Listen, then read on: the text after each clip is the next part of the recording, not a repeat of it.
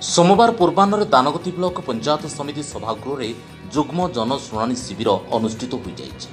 ଜିଲ୍ଲାପାଳ ଚକ୍ରବର୍ତ୍ତୀ ସିଂ ରାଠୋରଙ୍କ ଅଧ୍ୟକ୍ଷତାରେ ଅନୁଷ୍ଠିତ ଶିବିରରେ ଆବାସ ଯୋଜନା ଚିକିତ୍ସା ସହାୟତା ଭତ୍ତା ପ୍ରଦାନ ଜଳ ଯୋଗାଣ ପରିବେଶ ପ୍ରଦୂଷଣ ଜମିଜମା ସମ୍ବନ୍ଧୀୟ ସମୁଦାୟ ଏକାଅଶୀଟି ଅଭିଯୋଗ ପଞ୍ଜୀକୃତ ହୋଇଥିଲା। ଏହି ଜନ ଅଭିଯୋଗ ଶୁଣାଣିରେ ସୁକିନ୍ଦା ରୋଡ୍ ରେଳ ସାଇଡିଂକୁ ଲାଗି ରହିଥିବା ସୁଆଳ ଗାଁରେ ବାୟୁ ଜଳ ପ୍ରଦୂଷଣରେ କିପରି ଶତାଧିକ ଲୋକ ମୃତ୍ୟୁବରଣ କରୁଛନ୍ତି ସେ ବିଷୟରେ ଲିଖିତ ଅଭିଯୋଗ ଧୂଳିଗଡ଼ ସରପଞ୍ଚ ମାନସ ଶୁଣା କରିଥିଲେ। ସରପଞ୍ଚ ତାଙ୍କ ପ୍ରତିକ୍ରିୟାରେ କହିଛନ୍ତି କି ଏହାକୁ ଲଗେଇ ଦୁଇଥର ଅଭିଯୋଗ କରାଗଲାଣି। ଯଦି କିଛି ସ୍ଥାୟୀ ପ୍ରତିକାର ବ୍ୟବସ୍ଥା କରାନଯାଏ ତାଙ୍କ ପଞ୍ଚାୟତବାସୀ ଶେଷରେ ବାଧ୍ୟ ହୋଇ ରାସ୍ତାକୁ ଓହ୍ଲାଇବେ। ଆଉ ସେଥିପାଇଁ ପ୍ରଶାସନ ଦାୟୀ ରହିବ।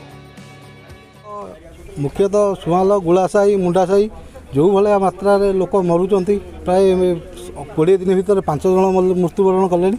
ସେହି ବି- ବିଷୟରେ ଜଳ ଅ, ବିଶୁଦ୍ଧ ଜଳ ଓ ଏୟାର ପଲ୍ୟୁସନ୍ ଯୋଗୁଁ ପ୍ରାୟ ମରୁଛନ୍ତି। ସେଇ ଭା- ଭା- ଭା- ଭା- ଭା- ସେଇଥିପାଇଁ କଲେକ୍ଟର ମହୋଦୟଙ୍କୁ ଲିଖିତ ଅଭିଯୋଗ ଜଣାଇବା ପାଇଁ ଆସିଥିଲି ଏବଂ ସିଏ ଆ, ବାୟୁ ପ୍ରଦୂଷଣ ପାଇଁ ଆର ଏବଂ ଆ- ମେଘା ପ୍ରୋଜେକ୍ଟ मेगा प्रकल्प तुरंत कार्य करने प्रतिश्रुति प्राय सतुरी अशी परसेंट जो ग्रीवांस था अन स्पट रिजल्व हो बाकी जो आम कोड़े पचीस परसेंट जो ग्रेभांस था सीठी किसी इनक्वारी रिक्वयरमेंट अच्छे कनसर्ट अफिसर को आम अलरेडी इनक्वारी करूँ ଆମେ ଅଲରେଡ଼ି ଇନକ୍ୱାରି ପାଇଁ କହିଦେଲୁ ନିଜେ ଗ୍ରିଭାନ୍ସ ଆସିଥିଲା ମେଡ଼ିକାଲ ଥ୍ରୁରେ ଯେଉଁମାନଙ୍କ ଅଛନ୍ତି ବି ଏସ୍ କେ ୱାଇରେ ଯେମିତି ଆମର ଯେଉଁ ସ୍କିମ୍ ଅଛି କଭର୍ ହେଉଛନ୍ତି ତ ଆସିବା ଯିବାର ତାଙ୍କୁ କିଛି ହେଲ୍ପ ଦରକାର ଥିଲା କି ଯେଉଁମାନଙ୍କ ଥିଲା କି ଯେଉଁ ଚୋଟ ଫୋଟ ଲାଗିଲା ପାଇଁ ତାଙ୍କର ଯେଉଁ ଇନକମ୍ ଥିଲା ଡିଷ୍ଟର୍ବ ହେଲା ତାଙ୍କୁ ବି ଆମ ସିମାରେ ରେଡ୍ କ୍ରସ୍ରୁ ସପୋର୍ଟ କଲୁ ଆଉ ବାକି ଯେଉଁ ଛୋଟ ଛୋଟ ଇସ୍ୟୁ ଥିଲା ଗୋଟେ ରୋଡ଼ରେ ସାଙ୍ଗସନ୍ ଥିଲା ପ୍ଲେଗ୍ରାଉଣ୍ଡରେ ଥିଲା that we have already sanction at DM ତ ପ୍ରାୟ ଯେଉଁ ଅଛି ସତୁରି ଅଶୀ ପରସେଣ୍ଟ ଗ୍ରାନ୍ସ ଅନ୍ ସ୍ପଟ୍ସ ଆମର ସଲ୍ଭ ହେଇଗଲା ବାକି ଯେମିତି ଇନକ୍ୱାରି ରିପୋର୍ଟ ଆସିବ ଆମେ ସଲ୍ଭ କରିବୁ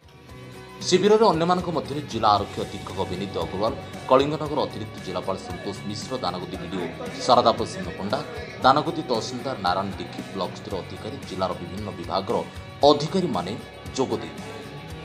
କଳିଙ୍ଗନଗରରୁ ଶ୍ରୀକାନ୍ତ ମହାପାତ୍ରଙ୍କ ରିପୋର୍ଟ ଯାଜପୁର ନ୍ୟୁଜ୍।